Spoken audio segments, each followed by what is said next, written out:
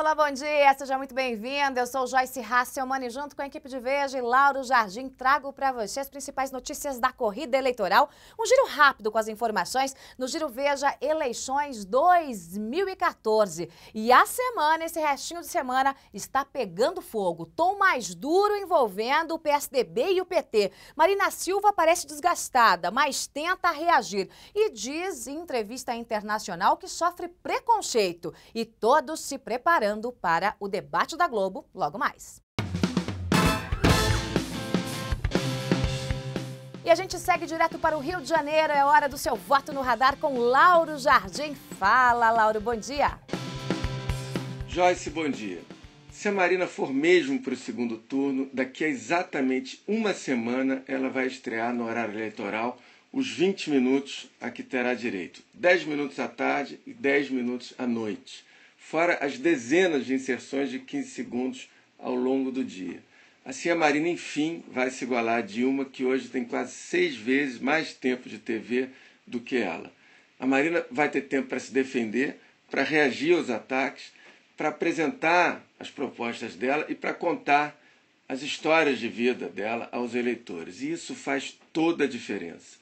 Uma pesquisa que eu tive acesso é, no início da semana revelou algumas peculiaridades interessantes desse processo. Uma delas é a seguinte: o eleitor médio ele parece que não nota o óbvio, ou seja, que a Dilma tem quase seis vezes mais tempo de TV que a Marina. Boa parte dos eleitores da Marina e dos indecisos reclama que ela não se defende dos ataques que recebe e também não apresenta propostas, como se, como se os dois minutos diários é, que ela tem fossem suficientes para dar conta de tudo. A simples divisão igual do tempo de TV no segundo turno já vai dar uma sensação para parte dos eleitores que a Marina cresceu, que ela agora, é, é, que as duas agora têm o mesmo tamanho eleitoral.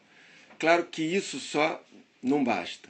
O que a Marina vai fazer com tantos minutos a partir de agora, a partir do segundo turno, é a grande dúvida tanto de alguns dos auxiliares dela quanto da turma da Dilma. Discute-se ainda eh, se a Marina vai levar para a campanha um novo marqueteiro. Muita gente no entorno da Marina quer. Algumas consultas têm sido feitas, mas até onde se sabe, a Marina não deu ok ainda para qualquer mudança. De qualquer maneira, para isso tudo, ela tem que chegar ainda no segundo turno e ainda hoje tem debate à noite na TV Globo, enfim, e as urnas do dia 5 o dia a dia dos candidatos. É hora de girar a reportagem de Veja. Joyce, a pedido do candidato Aécio Neves, o PSDB começou a reunir evidências de que os Correios boicotaram a distribuição de material de campanha do Tucano para favorecer Dilma Rousseff.